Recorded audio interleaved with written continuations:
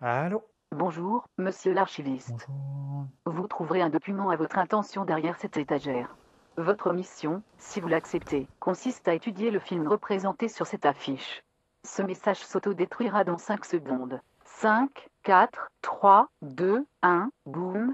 Ah, je déconne. À bientôt, monsieur l'archiviste.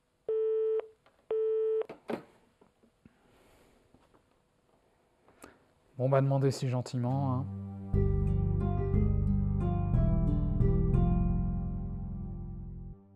Mission Impossible 2 est un film réalisé par John Woo et sorti en 2000 aux États-Unis. C'est la suite de Mission Impossible 1 Jusque-là c'est bon, vous suivez? Et le quatrième film américain de John Woo après presque 20 ans de carrière à Hong Kong. Le film commence dans les laboratoires de biocides pharmaceutiques à Sydney où un russe moustachu nous explique qu'il voulait créer un héros, le Bellérophon, et que pour cela il a dû créer un monstre, la chimère. Quand un film commence comme ça avec de la philosophie sous crack, généralement c'est que ça va être bon. Le russe, avec une sacoche visiblement très précieuse, prend l'avion sous la protection d'Ethan Hunt, agent du groupe Mission Impossible. Sauf que Ethan Hunt n'est pas Ethan Hunt, mais un monsieur avec un masque qui détourne l'avion, tue le russe et vole la sacoche.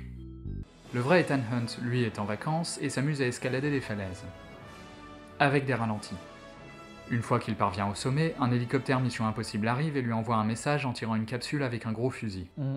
L'unité Mission Impossible a vraiment de l'argent à jeter par les fenêtres. Le message est enregistré sur des lunettes de soleil parce que quitte à recevoir un ordre de mission, autant avoir la classe. Ethan a donc 48 heures pour se rendre à Séville et retrouver une voleuse nommée Naya, qui doit obligatoirement faire partie de son équipe pour récupérer la chimère volée.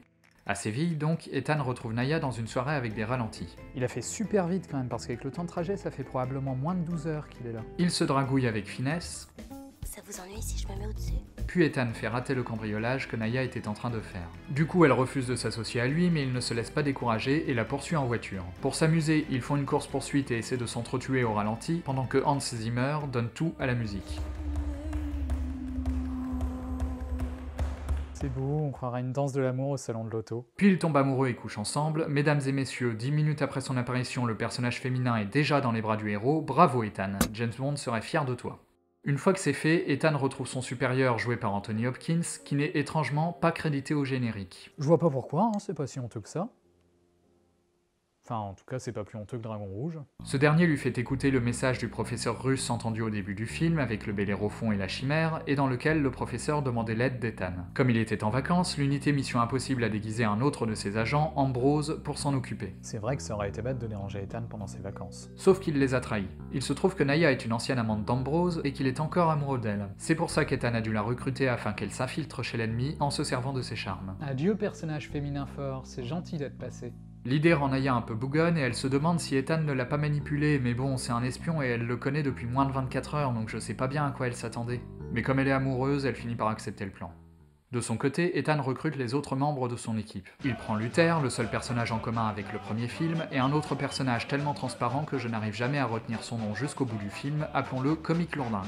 Plus tard, pendant une course de chevaux, avec des ralentis, très bien. Ethan et son équipe voient Ambrose discuter avec le patron de Biocide Pharmaceutique et lui montrer une vidéo qui semble beaucoup le déranger. Avec l'aide de Naya, Ethan parvient à faire une copie de la vidéo et surprise, on ne voit pas le patron de Biocide bourré en train de faire l'hélicobite, mais les effets bien dégueux de la chimère. C'est d'ailleurs seulement à cette occasion que l'équipe Mission Impossible apprend ce qu'est la chimère. Après une heure de film, il était temps. Il s'agit donc d'un virus très puissant et l'antivirus s'appelle le Bellérophon. Vous savez les mecs, c'est pas parce que vous mettez des références mythologiques qu'on va croire que votre scénario est profond. Hein. Mais Ambrose comprend que Naya l'a trahi et il la piège en se déguisant de nouveau en Ethan. Pendant ce temps, Ethan kidnappe le patron de Biocide Pharmaceutique qui explique en détail ce que sont la chimère et le Bellérophon dans un grand moment de génie scientifique. Alors on prend tout plein de maladies et on les colle ensemble, et paf, ça fait de la chimère. Ethan comprend qu'Ambrose n'a que le contrepoison et que les seules sources de chimère sont dans les laboratoires de Biocide. Il décide donc d'aller les détruire. Et me demandez pas comment il a deviné ça, hein, parce que j'ai rien compris. Et pour ceux qui n'ont pas vu Mission Impossible 2 et qui veulent absolument le découvrir par eux-mêmes, je vais me servir un thé, le temps pour eux de sauter à ce moment de la vidéo.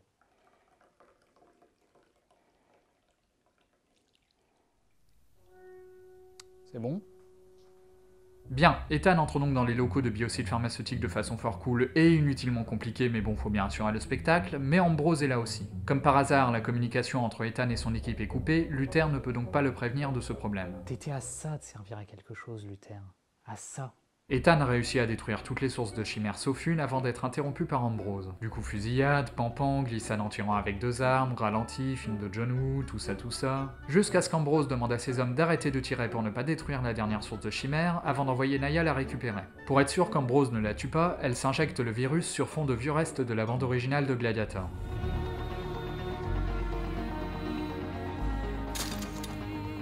Ethan comprend donc qu'il n'a plus que 20 heures pour récupérer le Bellérophon, sinon c'est foutu pour son plan cul. Le lendemain, Ethan trouve la cachette d'Ambrose, tue des gens, fait exploser des trucs avec vol de Colombo ralenti. Et récupère le Bellérophon. Puis course poursuite, vous noterez d'ailleurs qu'il prend le temps de remettre ses lunettes de soleil pour la classe et Luther aide en tirant sur les poursuivants depuis son avion. Et c'est la première fois qu'un personnage autre qu'Ethan est utile dans ce film. Bravo mon Luther. Mais quelques minutes plus tard, il se rend compte que Naya a été lâchée dans la nature et qu'elle prévoit de se suicider pour ne pas contaminer les gens autour d'elle, alors il va plutôt faire taxi et laisser les méchants à Ethan. La poursuite en moto continue, bien sûr avec plein de ralentis, et finalement il ne reste qu'Ambrose et Ethan dans ce qui ressemble à une version motorisée des joutes chevaleresques. Puis bagarre, bagarre, bagarre, Ethan tue Ambrose au ralenti avec une sorte de coup spécial qui achève toutes les lois de la physique déjà bien mises à mal depuis le début du film, Naya est sauvée, et fin. Putain, c'était n'importe quoi. Je me dis ça à chaque fois que je vois ce film, mais ça me surprend toujours un peu, c'est vraiment, vraiment un gros bordel à tous les niveaux.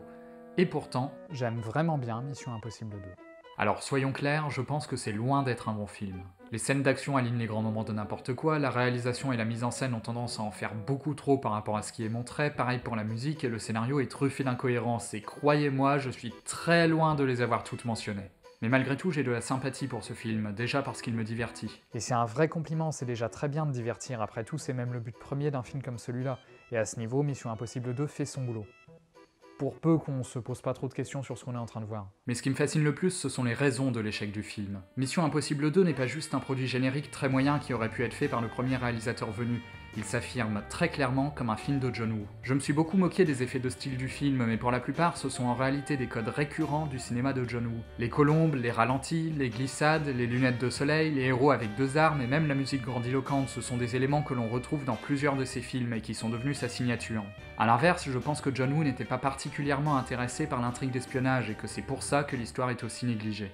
Du coup, c'est assez impressionnant qu'il ait réussi à accumuler autant d'incohérences dans un scénario qu'on peut résumer à il faut récupérer un truc à un méchant dans une villa au bord de la mer. Oui, c'est ça. Finalement, Mission Impossible 2 s'affirme plus comme un film de John Woo que comme un film de la saga Mission Impossible. Bon, ça, ça explique que le film soit raté en tant que Mission Impossible, mais reste à comprendre pourquoi il est aussi raté en tant que film de John Woo. Dans ce film, les codes habituels du réalisateur semblent encore plus mis en avant que dans le reste de sa filmographie. En fait, on nous les assène tellement que j'ai l'impression que John Woo a voulu faire en sorte que chaque plan soit identifiable comme un plan de John Woo. Il aurait aussi pu mettre sa signature en gros au milieu de l'écran, ça aurait été plus simple et pas beaucoup moins subtil, mais bon. Le souci, c'est que j'ai un peu l'impression que ces codes sont placés en quantité aussi énorme pour essayer de masquer qu'ils tournent à vide. Dans les autres films du réalisateur, ces mécaniques visuelles sont là parce qu'elles servent des thèmes de fond. Par exemple, les héros sont iconisés à ce point parce qu'il y a chez John Woo toute une réflexion sur les valeurs morales au sens chevaleresque. Il veut nous montrer des chevaliers contemporains et nous raconter des légendes urbaines, des histoires de héros liés à la fois par des rivalités brutales et par un amour ou une amitié presque fraternelle, et qui luttent pour retrouver ou conserver leur morale. Ce sont des thématiques qu'il a développées sur une bonne partie de sa filmographie hongkongaise, à partir de la dernière chevalerie et du syndicat du crime. Dans ce contexte, le côté chevalier sans faille d'Ethan Hunt s'explique. C'est en fait un héros assez typique de John Woo. Bon, et puis c'est Tom Cruise qui produit le film, hein, on va pas se mentir, ça joue aussi. Le style visuel de Wu illustre ces thèmes. Il permet de sacraliser les personnages principaux et les transforme en icônes, même au milieu d'un bain de sang. Et c'est pareil pour les scènes d'action. Elles peuvent se permettre de ne pas être crédibles et d'en faire beaucoup trop, parce que ça s'inscrit dans la narration légendaire du film. Cho Yun Fat qui fait ça dans The Killer. Ce n'est finalement pas plus surprenant que Perceval qui terrasse un dragon. C'est chaud quand même. Bon d'accord, avec ce Perceval ce serait surprenant, mais vous voyez où je veux en venir. Le style de John Woo n'est pas gratuit. Alors, je pense que c'est aussi là pour faire classe, mais ça a un sens. Sauf que dans Mission Impossible 2, ce sens est en grande partie absent. Pour la plupart des personnages, la mission est juste un travail, ils sont collègues et discutent entre eux de travail, sans avoir de relation intime ni d'implication personnelle dans l'intrigue. Finalement, la seule relation vraiment personnelle de l'intrigue, c'est celle entre Naya et Ethan, et j'ai un peu de mal à y croire dans la mesure où on les voit très peu ensemble. Peut-être que je ne suis pas romantique, mais leur prétendu coup de foudre au premier regard ne me convainc pas du tout. John Woo a déclaré qu'il avait voulu faire un film d'espionnage avec au centre un triangle amoureux romantique. Sans déconner, il parle tellement d'amour dans le commentaire audio du film qu'on dirait du Patrick Sébastien. Love story, romantic, romantic, romance, love. C'est ça l'amour absolu.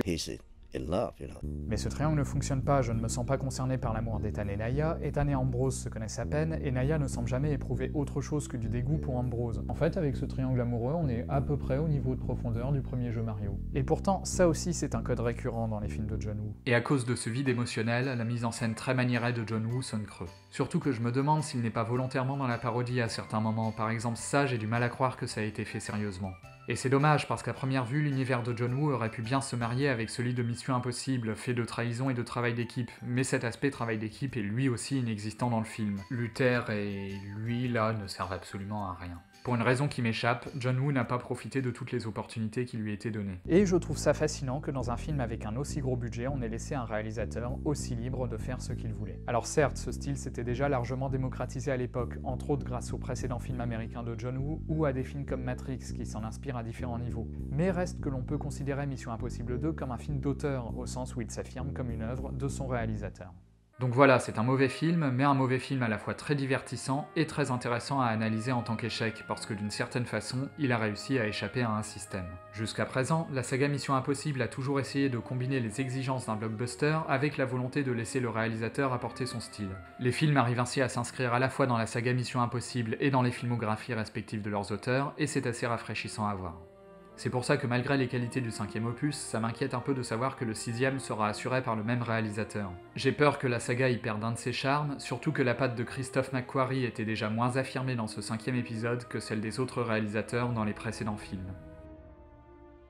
Ouais, ça fait vieux con comme conclusion, il faut que je trouve un truc plus positif. J'ai trouvé.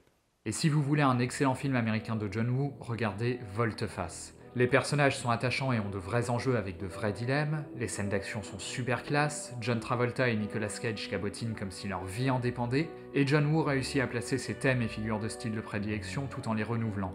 Pour moi, ça reste le film américain de John Woo le plus réussi, largement au niveau de ses grands classiques hongkongais.